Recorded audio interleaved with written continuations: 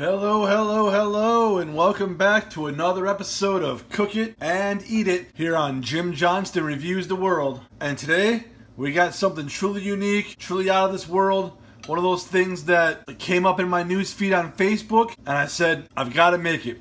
I've got to make this. I've had to make a couple alterations uh, out of laziness, pretty much, and uh, a couple other alterations for uh, that Jim Johnston style. Now, what we're making today, folks, Polish tacos. Polish tacos, that's not a joke, legitimate thing. We're gonna make tacos Polish style. So, what we have is sauerkraut. It's Polish, but I much prefer this German style kraut. I'm not going to insult the German friends by trying to pronounce uh, the German language. This brand of German stuff that I can buy at my local Aldi, it's all phenomenal. I especially love their red cabbage. We've got a pound of smoked kielbasa cut up, mostly coin, but some of the thicker pieces I cut in half then.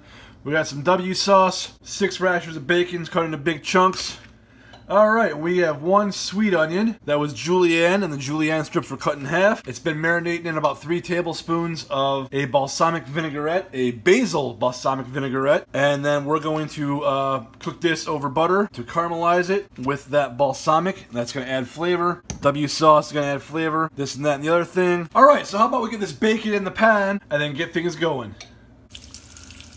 All right, we got our bacon cooking in our first pan. I gotta do a episode of Jim review stuff about this pan one of these days. So this is a carbon steel pan and I picked it up on sale for less than six bucks. Brand new, and it's quickly become one of my favorite pans. I actually did make my uh, a single batch of macaroni and cheese in here. Anyway, that's enough gushing over the pan. We got the bacon going. We're gonna let that drain off and uh, cook off. We will drain off some of the grease uh, when it's ready and save that for a future recipe for here on Cook It and Eat It. In the meantime, we got a smaller frying pan heating up. Actually, I got to turn it up a little higher. I got the bacon going over medium-high heat, by the way. I got this pan heating up, and I'm to put about a tablespoon of butter in it. This is not a healthy meal tonight, folks. This is good old-fashioned soul food cooking, uh, Polish style. My opinion, and you cannot change my opinion on this no matter what you say to me. Food speaks all language. Food crosses all culture. If we could all just sit down, have a meal, have some music, we could all get along a lot better because constants throughout all of civilization, from the highest to the lowest, are food and music. That's enough of my rant. So, getting that pan heated up, and we're gonna go ahead and we're gonna put ooh a piece of bacon fell in here. And these uh these splatter shields come in very handy, and this one's from the Dollar Tree. So, gotta do another video, an episode of Jim Reviews on uh, Dollar Tree finds one of these days too. Alright, so we do want to caramelize these onions, so we want a fair amount of butter, but that's enough. We're gonna take that extra back out of the way, and then gonna go with our onions. These were marinating in about three tablespoons of nice basil balsamic. Let's take a look at our bacon.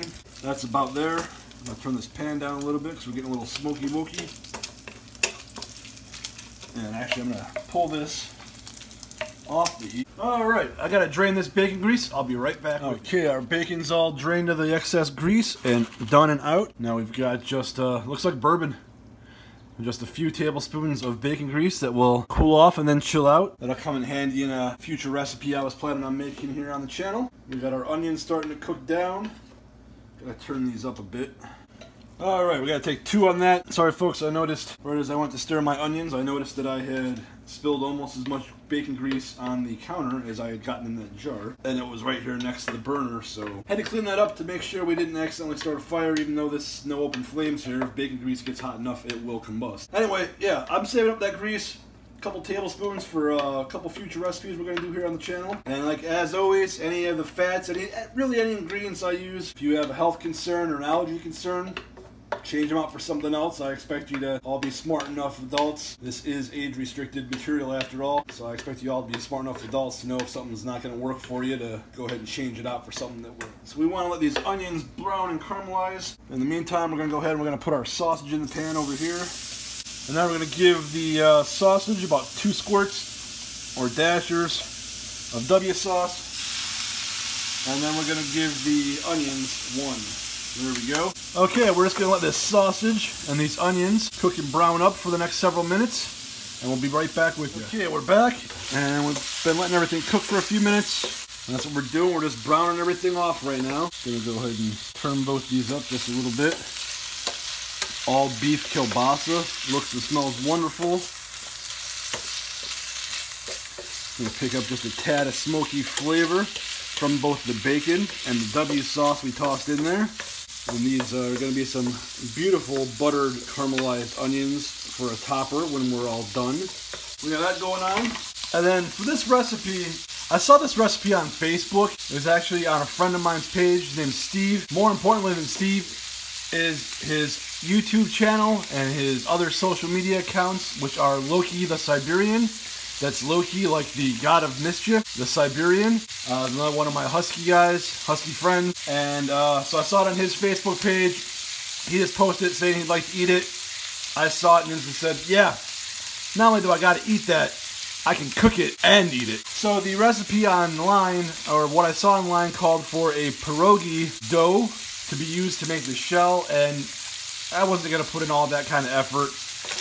So we got the smoked kielbasa, we got the gonna be caramelized onions, we got some bacon, we got the sauerkraut, which we're gonna add right to this pan, about half that jar of sauerkraut. So we need something for the taco shell, and I thought on it and pondered it quite a bit and Indian style roti bread would have been really close.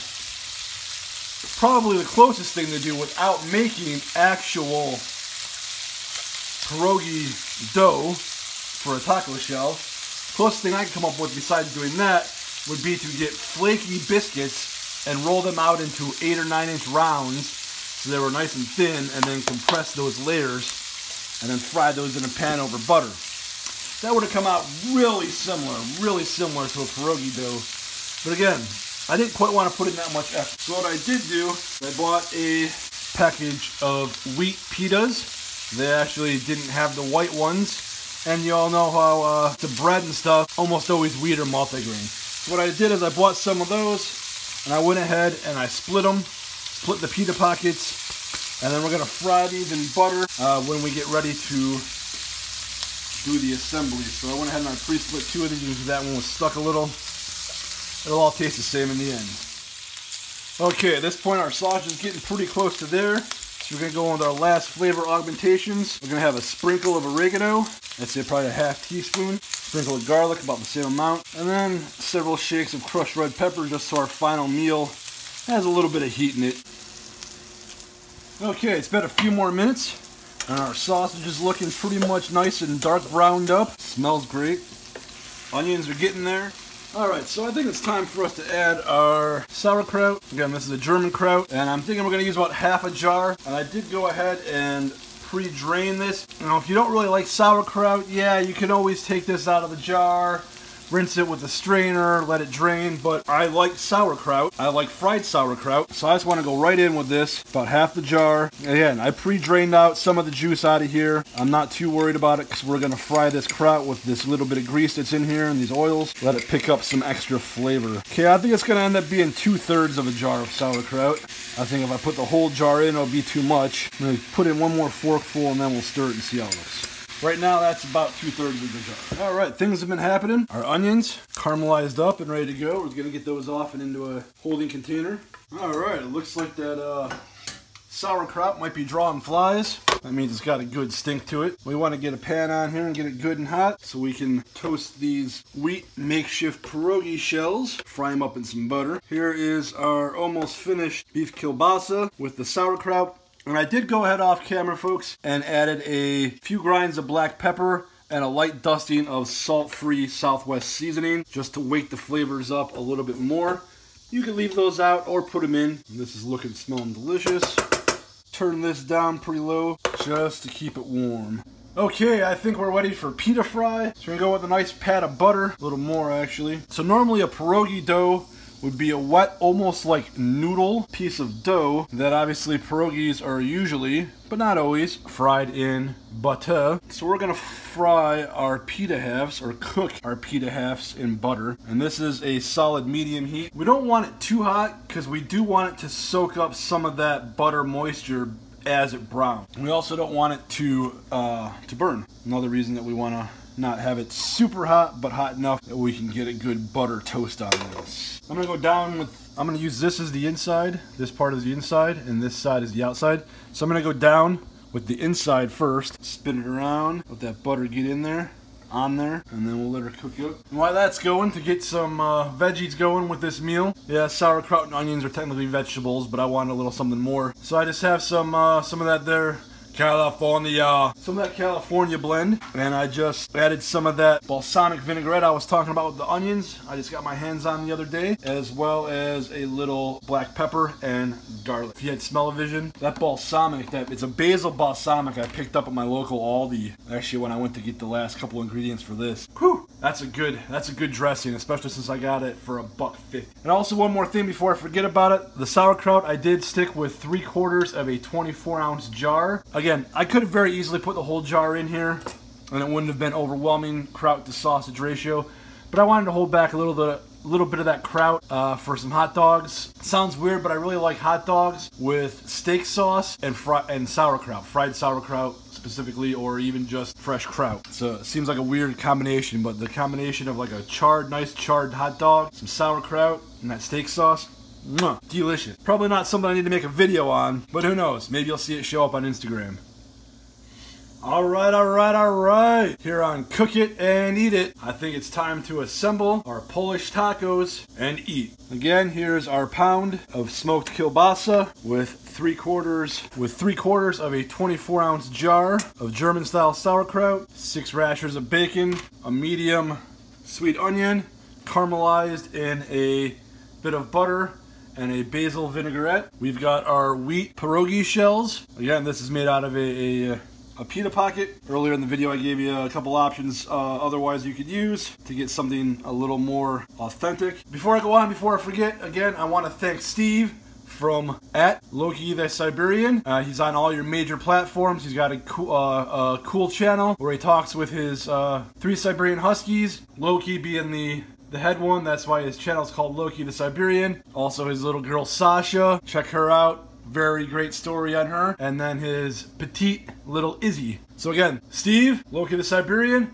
I want to thank you for giving me the inspiration for this video. And hopefully some other people out here in the little community knock this off and do this video and get it put up before I do. Because I know this one's not going up uh, till a couple weeks. So when you see this, folks, it'll be a couple weeks after I shot it. So alright though. Enough of me blabbing, let's make a Polish taco. Get that sauerkraut, sausages. I don't want to overload these, so I can get just a little bit more. And that one. Another piece of meat over there. Spin the plate around. I really like to do fun, and interesting, outside the box things with my food. So yeah, like I said, like I mentioned, when I saw this one on the Facebook, I just knew I had to make it. My history with sausage and sauerkraut and bacon and anything else is anything to go by. I know this is going to be amazing. All right, little topping of onions. And I think this is about enough for six to eight. I'd say six to eight good sized tacos. Probably, yeah, six to eight. Might want more onion than that, but definitely enough for my dinner tonight. And my lunch tomorrow, probably. Then we're just gonna sprinkle a little bit of the bacon on top. Do I have a clean finger to stop this? Okay, here's our finished tacos. Polish tacos. Don't they look wonderful? How do y'all like my new aqua marine plate I brought bought got this special just for doing food reviews. Figured everyone was getting tired of looking at everything on various shades of red. Sorry folks red's my favorite color but this has a nice pop with food on it so look at that. Beautiful. Beautiful. And before I take a bite I think I'm just gonna give it a light sprinkle of this everything bagel seasoning. And there we go. Polish taco. Let's see how she tastes. Had a toothpick in there for the photographs. Nope nope. Sorry folks. Nope this is oh this is garbage. This this is junk. I gotta take it out of here. I'm just kidding. This that's that's like the oldest joke in my family. You make something phenomenal and you tell everybody else it's garbage so you can eat it all yourself. No. Folks, wow. This is amazing. I'm gonna take another bite. Give me a moment. Oh my god. Mm. Salty, sour, seasoning, smoky, crunch, soft, flavor. Oh my god. Mm. That's amazing, folks. I don't know what I expected. Anything but amazing. Kielbasa and sauerkraut, amazing. Bacon, amazing. Caramelized onions, amazing. Pretty much any kind of dough fried in butter, amazing. This is great. It's a great alternative to something mundane. That's why I picked up on this. That's what you see me try to do here on the show all the time. We go basic, but we also like to take the everyday items, turn them on their side, and get rid of the mundane for something truly amazing, wonderful, but moreover, fun. Danke folks. I want to thank you for watching another episode of Cook It and Eat It here on Jim Johnston Reviews the World. I'm your host, Jim, and if you like my stuff, folks, please, please, please, please subscribe, comment down below, and share this with your friends to help me grow the world audience. That's all we have for you today. We'll see you next time. But before I go, I want you all, my internet friends, to know be weird, be free, and most importantly, be independent.